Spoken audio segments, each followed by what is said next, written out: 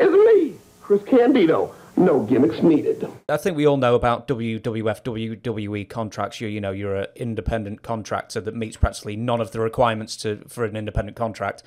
Uh, do you uh, right. do you remember your family and Chris and you discussing the contract itself? And uh, I think uh, I didn't quote it, but it's basically it had a lot of holes. Uh, what were some of the like more unfavourable terms uh, the WWF wanted Chris to sign for?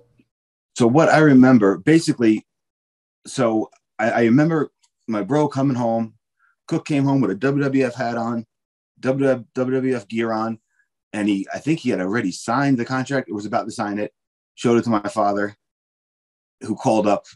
Um, one of our neighbors is a, a lawyer, and um, the, the lawyer looked at it and was like, "Was like Chris, you shouldn't you shouldn't sign this." He's like, "It basically says that you can be terminated at any time for any reason." Like he's like, "There's so many holes in this contract that you know it wouldn't be wouldn't be wise for you to sign it." And my brother's thinking was, "All I want to do is wrestle. This is the the only game in town, and I want to be there." So he signed it. You know, regardless. Mm. Like also, I forget if I if I say it in the book or not, but um, my uncle was a just recently retired a college football coach, and I remember him, uh, you know, giving my brother the whole steroids talk about like don't do steroids. I remember eavesdropping on that on that uh, on that conversation. And again, he, you know, he took that with a grain of salt. You know, he he he heard him out and said, "Yeah, you know, you're right, but that was you know going around then. I'm you know, and it's wrestling, so I'm sure it's still going on. Obviously. Well, uh, there's a well, well, you know, uh, with the wellness policy and everything. I think, and I don't know how much, but uh, therapeutic exemptions and stuff like that. So God knows how many people are actually on either steroids or uh, uh, TRT. TRT, yes, thank you very much. Uh, so who knows? Basically, uh, only their doctors and the company themselves know who's got exemptions or exemptions you, you can work a doctor for TRT. Mm. Like that's especially if you're a wrestler. You kidding me? How easy it'd be to work a doctor? like, oh man, you know, I feel drowsy all the time, and you know, like it, it, there's. I'm sure a lot of the guys can work doctors for uh, for the gas. Yeah. Uh, with um, Chris's uh, initial exposure in the WWF, uh, we all know the character Skip and everything, but uh, it's only really when I read the book that I realised just how immediately unhappy he was with all the suggestions that the WWF were coming up with for his character. Uh, I mean, I'll let you go through it. And we're not just talking about characters, we're talking about costumes as well. Well, I, I think for him, he, uh, you know, he was always just tunnel vision, you know, pro wrestling, WWF, that's what I'm going to do. And uh, when they gave him these ideas, he was just like, no, like, I don't want to do that. Like, just let me be myself, you know, like, that's what I want to do. He, he was unhappy, but he was happy at the same time. He was happy to, to be there. That was like validation for all the hard work he put in.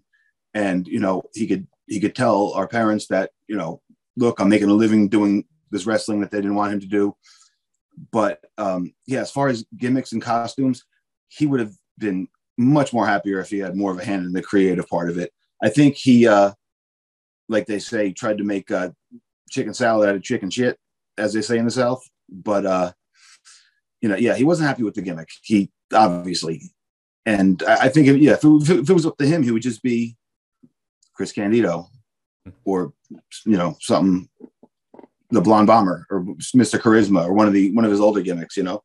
Yeah, uh, I know Tammy said it. You say it in the book as well. Um, what was the Mighty Mouse? I know, obviously, the cartoon Mighty Mouse, but they weren't going to give him like ears or anything, or or or what? What what what was? How was that character explained to him? I, I'm not sure. I just remember seeing promo pictures of it, and he was like standing there with like a freaking cape on, and uh, you know, it just the aesthetics. It didn't look good. It looked like they were, you know, like like goofing. It was like a like a goofy gimmick, and that wasn't him because he he'd been wrestling professionally since he was 13. He's like, dude, I gotta just like fucking Mighty Mouse, you know. So I think that's where, uh and like like I, I I'm sure I said this in the book too. They were like, you know, after the Bodydonnas run was finished, they were up there, and my brother was helping train the younger guys. Like he he you know, he wrestled The Rock. He was working with The Rock and Mark Henry.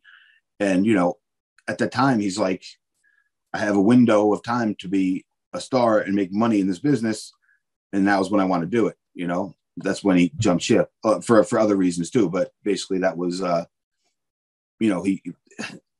In hindsight, he would like you know when he was, you know, 30, 31, he was like, dude, I should have just fucking stayed, trained people, and shut my fucking mouth. And then when my time came, they'd repackage me or whatever. But at the time, it was real hard headed because I mean, it's like you know, he worked his whole life to get to this place, and then they put him in a gimmick he wasn't very happy with. So he always made the best of it. He was never an outward complainer. He always like laughed things off, but yeah, he wasn't very happy with it. Hmm. Uh, this is just my personal theory, but um, since reading the book, and I'm going to bring up the book many more times, uh, it's right there as well. If you want to buy it, it's on Amazon.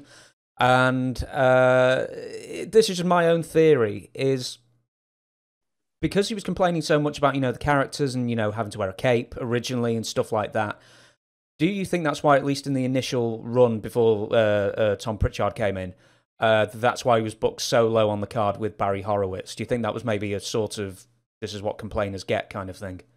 Yeah, yeah, it could have been. It, it definitely could have been, and he could have not even realized it.